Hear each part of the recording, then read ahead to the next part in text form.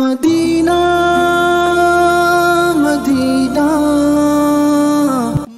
दौर खिलाफत राशदा में, जब हज़रत उमर और हज़रत अली कोफा पहुँचे और अहले यमन से उनका पता मालूम किया तो किसी ने कहा, मैं उनसे पूरी तरह वाकिफ़ तो नहीं, अलबत्ता एक दीवाना आबादी से दूर अरफा की वादी में ऊँट चराया करता है और खुश्क रोटी उसकी गज़ा है।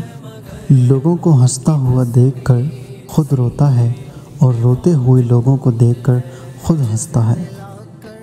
चुनाचे हज़रत उमर और हज़रत अली जब वहाँ पहुँचे तो देखा कि हज़रत उवैस नमाज़ में मशगूल हैं और मलाइका उनके ऊँट चरा रहे हैं।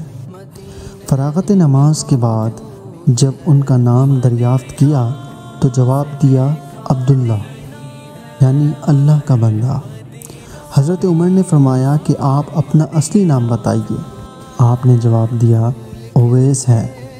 फिर जब हज़रत उमर ने फरमाया कि आप अपना हाथ दिखाइए, उन्होंने जब हाथ दिखाया तो हजूर अक्रम वसल्लम की बयान करदा निशानी को देखकर हज़रत उमर ने दस्त बोसी की और हजूर सल्लल्लाहु अलैहि का लिबास मुबारक पेश करते हुए सलाम पहुंचाकर उम्मत मोहम्मदी के हक़ में दुआ करने का पैगाम भी दिया। ये सुनकर ओवैस करनी ने अर्ज़ किया कि आप अच्छी तरह देखभाल कर लें।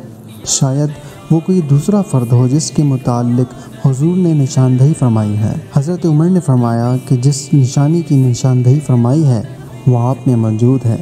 ये सुनकर ओवैस करनी ने अर्ज़ किया, ए उमर, तुम्हारी दुआ मुझसे ज़्यादा कारगर साबित हो सकती है।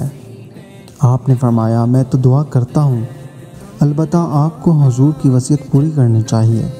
चुनाचे हज़रत उवैस ने हजूर अलैहि वसल्लम का लिबास मुबारक कुछ फासले पर ले जाकर अल्लाह ताला से दुआ की कि, या रब, जब तक तू मेरी सिफारिश पर उम्मत मोहम्मदी की मफ़रत ना कर देगा, मैं सरकार दो अलैहि वसल्लम का लिबास हरगिज़ नहीं पहनूँगा, क्योंकि तेरे नबी ने अपनी उम्मत को मेरे हवाले किया है।